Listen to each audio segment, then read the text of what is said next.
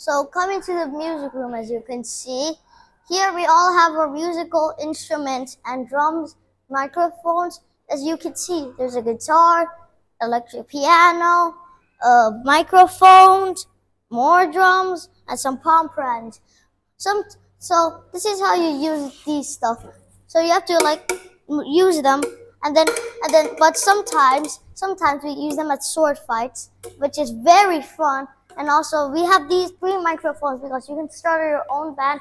We have electric guitar, a, a big piano, and electric drums. And also, we have more speakers. As as you can see, our teacher has speakers to show us videos in, and like like clap, slap, clap, slap, clap, lap.